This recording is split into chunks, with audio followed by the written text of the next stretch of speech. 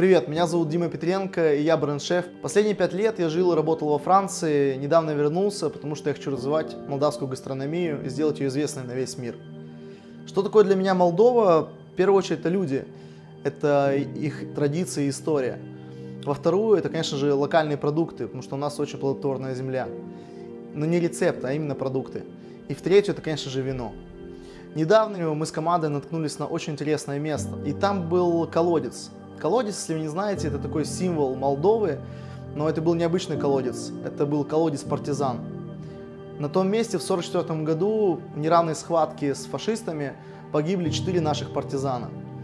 У этого места была какая-то сумасшедшая энергетика, и меня оно вдохновило на блюдо.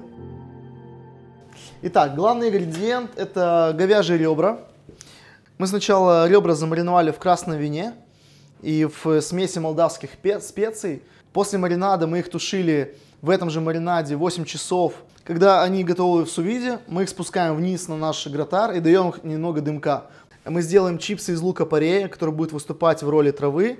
Итак, начнем с самого долгого, с соуса. Конечно же, сливочного масла. Гарнитюр мати, как и называют во Франции, либо овощи, которые у вас есть в холодильнике. Добавляем, конечно же, вино. Когда соус начал готовиться, делаем поленту. Смесь молока и сливок у нас э, прокипела. Вместе с тимьяном чесноком добавляем нашу кукурузную муку. Когда у нас э, вскипело вино для соуса, мы его фламбируем. Осталось буквально чуть-чуть жидкости от красного вина. Мы добавляем говяжий бульон, концентрированный говяжий бульон. Это очень-очень важно. Чипсы из мамалыги, это в принципе та же полента, просто остуженная и потом разрезанная на ровные пальчики, вот такие.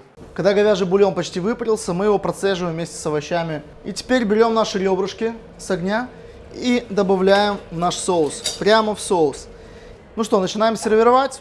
Делаем траву, полента. Начинаем выкладывать непосредственно наш колодец. Центр колодца, конечно, наше чудо-мяско. Вокруг колодца всегда немного поросшей травы.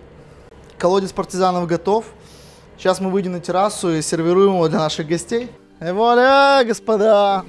Вкус Молдовы на тарелке. Я надеюсь, вы будете приезжать в Молдову и попробовать ее настоящий вкус. Хай, Молдова! Вперед!